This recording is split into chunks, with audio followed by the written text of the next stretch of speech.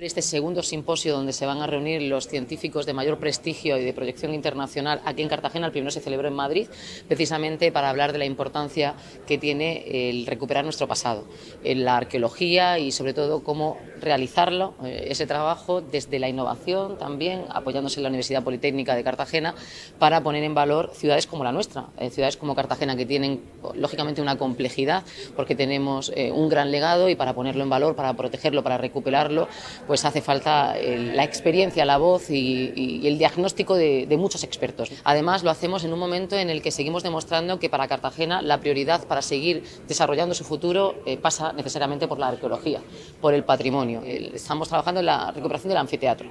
Estamos en plena ejecución de un plan director para recuperar uno de nuestros castillos. Estamos excavando una domus. El próximo lunes comienzan las actuaciones también de recuperación de la parte del atrio, de la zona del atrio, del pórtico del Teatro Romano, con un presupuesto de más de 700.000 euros. Así que seguimos recuperando nuestro patrimonio y seguimos apostando para crecer como ciudad, eh, lógicamente por, recuperar nuestro pasado. Forma parte de nuestra identidad y esa es la línea de trabajo que queremos seguir desarrollando y por la que apostamos desde el equipo de gobierno. También en nuestra candidatura de Patrimonio Mundial de la Humanidad.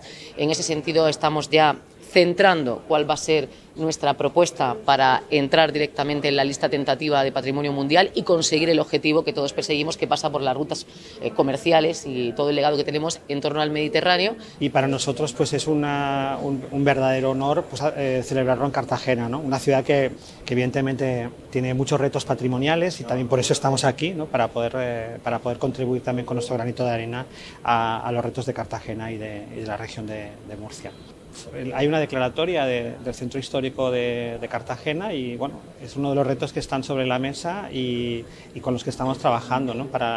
sobre todo para esa candidatura de, Cartagena. Que es un placer para la universidad acoger este congreso, evidentemente encima en un edificio como es este, el CIN, que forma parte del patrimonio de la, de Cartagena.